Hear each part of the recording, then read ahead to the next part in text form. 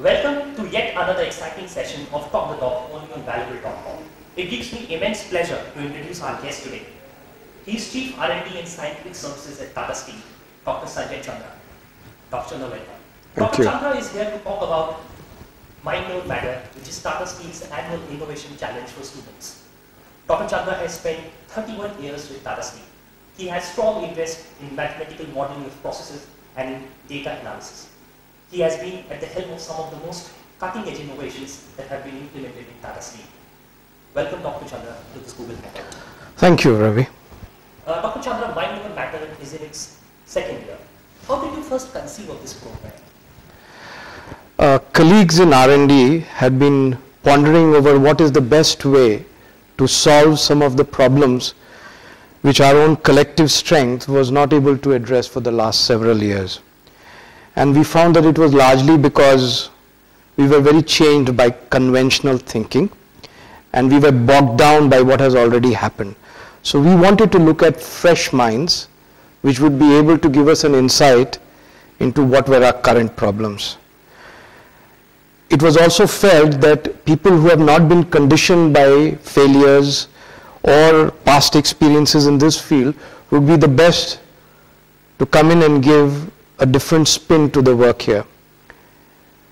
So a lot of lateral thinking is needed for this kind of a work and we thought what better than to engage some of the brightest minds from the engineering colleges which we have in India. That's how we are into this particular effort. Sounds great. So what were some of the challenges that were presented to students in the first season? Well, before uh, we get into the specific ones, let me just give you a bit of stats on this. So we had about 166 number of challenges which we first put up within our own setup, brainstormed them, and finally selected seven of them to be put up to the, uh, to the audience at large. These included challenges like CO2 reduction, renewable energies to melt steel, waste utilization, implementation of uh, elimination of hazardous material from steel casting powder, etc. And finally, we had two to three persons per team come in and help us with this work. All of them really sound very exciting. Of those ideas that were submitted, which one is the most memorable? Yeah, so um, it depends on um, what we really mean behind that question. The memorable part could be because somebody did a very bad work, or it could be because he did a very good work.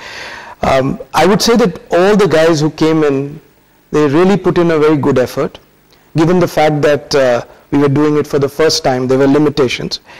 And in general, the quality of work done was reasonably high. One that really stays in mind is the one which was done on uh, CO2 reduction and solar heating. Okay. And I know concepts like solar heating has a huge potential in India. That's right. What was it like having students work side by side with the R&D? Yeah, so the R&D team is also a very young team. The team which actually goes on to work with the student is also people who have not spent that much more, that much time in the company. So this is also a young group which leads um, the students who come in. And I think if you have these young mentors and young students, you really have a deadly combo. And that's how it was. They were uh, give and take from both sides. And I think at the end of the day, each side learned. I, I think overall the feeling has been extremely positive. Okay, so now that we are in second season, what is it that we can expect from Mind Over Matter 2 in terms of the challenges, expectations, and the participating colleges? Um, we have matured. The process which we had so far uh, was in its infancy. So in some senses, having learned from whatever has happened in the previous year, we have matured. And now we have come up with several new challenges which cover a whole flavor of work which goes on within a steel plant. So be it the raw materials or right to the finished products, you have challenges which are coming in everywhere.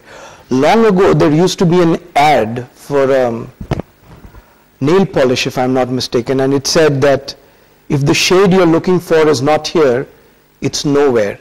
So I would like to say that if the challenge you're looking for is not here, then you have not looked hard enough. And we have really summed up the challenge very well, sir. So what essential tips can students or should they keep in mind while preparing for the submissions this year?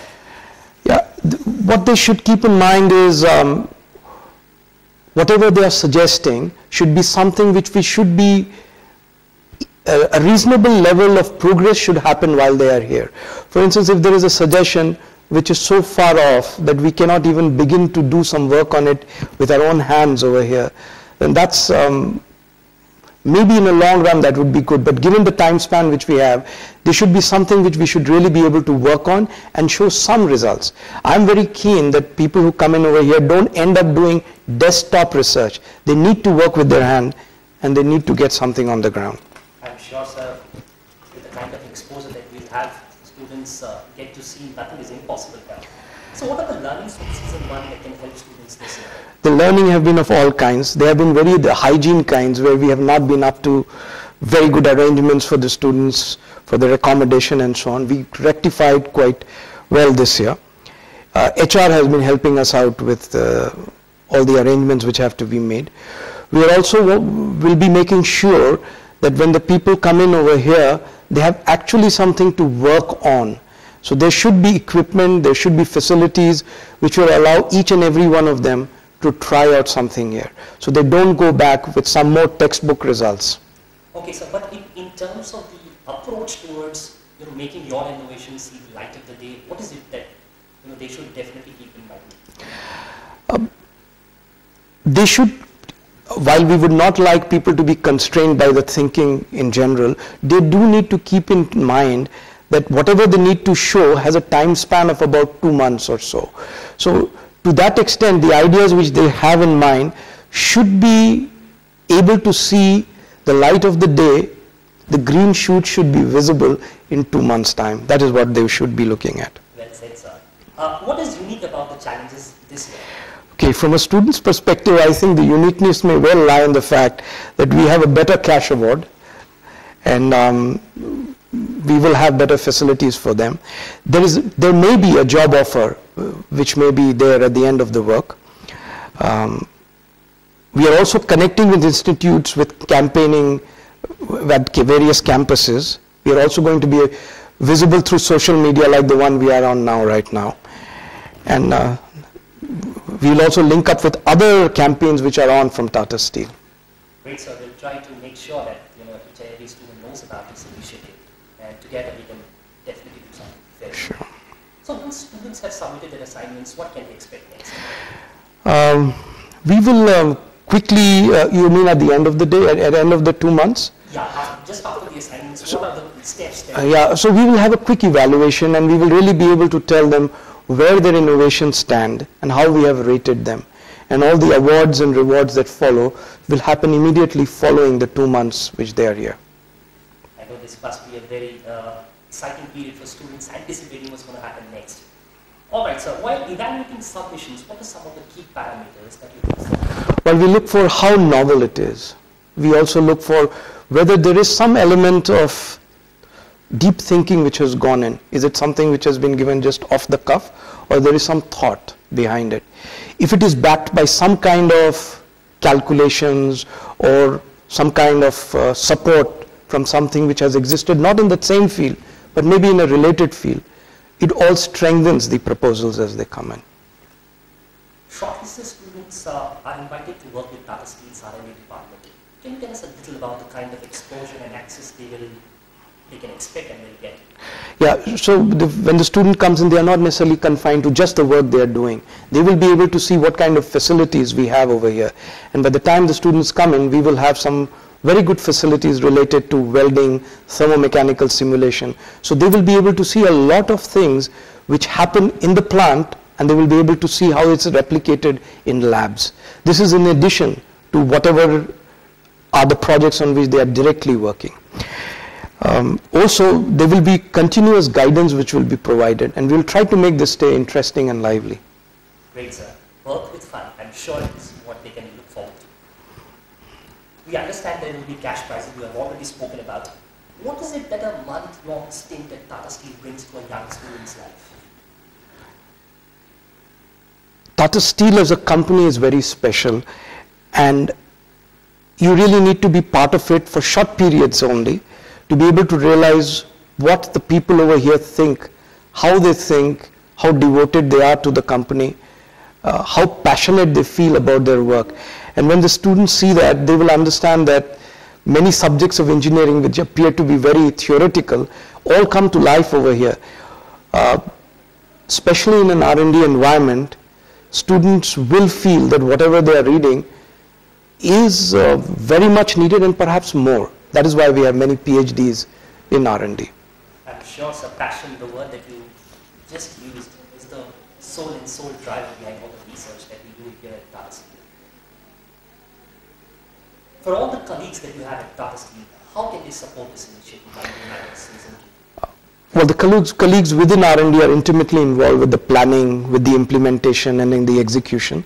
The people who are outside of uh, the outside our R&D, there will be occasions on which uh, our R&D team will interface with them in the plant. I'm sure the colleagues from outside would be able to encourage and give the relevant support which is needed for the projects to go on further.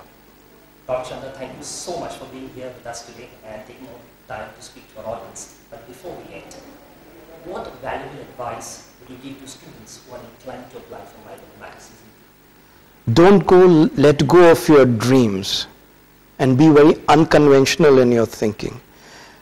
We have enough conventional thinking within the setup. What we are looking for is an out-of-box thinking. It's been an absolute pleasure talking to you today on this Google Plus Hangout. I'm sure students will find some interesting points to ponder over while they apply for Mind Matter Season 2. Thank you very much, sir. You can catch this interview on dialogue.com or visit our YouTube channel. You can follow us on Facebook and also my to do. Thank you so much.